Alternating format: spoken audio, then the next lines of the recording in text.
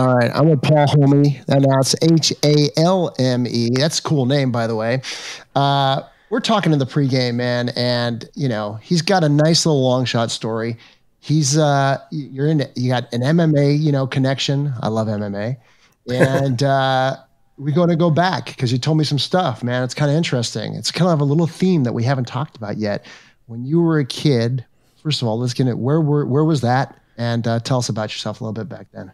Man, I grew up in a suburb of Detroit, real small. You know, it was a crazy area. It was a crazy, not the best neighborhood. Like we grew up lower middle class. I like to refer to it as, and you know, I grew up like a lot of people's story where money's evil, rich people suck. You know, we can't afford that. The typical stuff that.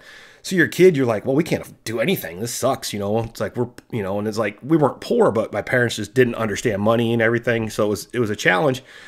And then, you know, growing up in Detroit was not the funnest place in the in the you know 70s and 80s you know so luckily well luckily and unluckily my dad walked out on us on christmas eve when i was 12 and i was so from that moment on i was obsessed with like okay i gotta figure life out you know it's me my mom my sister and then she ended up taking him back of course uh, the stipulation we had to move to south dakota and i'm like what?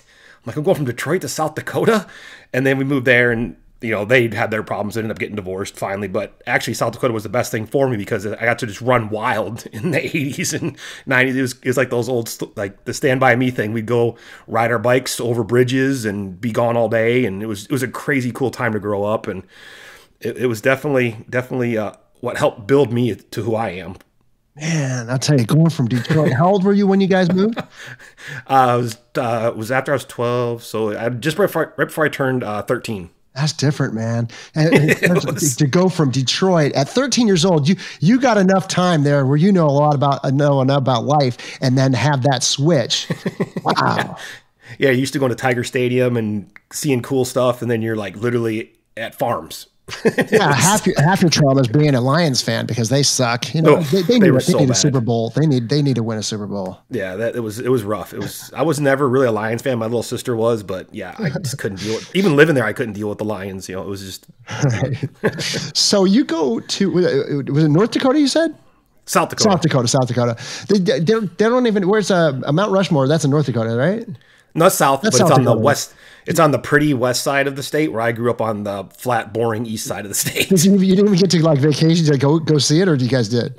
Every year, every year, because family, family would come visit. Because oh, we're gonna go to Mount Rushmore, and by by about the fifth trip, I was like, I'm so sick of this place. Can we right. go anywhere else? It's like I live here, right. but everybody wants to see Mount Rushmore, so that's where we took everybody. That's right. Was, that's the thing. You know, it's like I, am here in Texas now. I'm from LA, but everybody's like, I want to go get some barbecue. I'm like, all right, I reserve all my barbecue to like usually people from out of town. So you know, you're, I could see, you know, you're, how about the relationship with your dad? Never really uh, kind of like melded in anything. That's why you kind no. of, you went into money because he was like, you know, because that was like money's evil. You went the opposite direction. Hundred percent, yeah. I had this this this drive was inside of me, like I have to have make you know do money, make money. So it's like literally at yeah, I think I was thirteen. I got my first job working at a golf. Like I was in love with golf, and I'd go out there and play. And I just asked them like, "Hey, do you guys got any jobs?" And they're like, "Oh, we need somebody. You know, we need some people on the grounds crew that can run a mower." So I did that for my entire high school every summer. You know, working fifty hours a week when I was thirteen. What was high school like for you?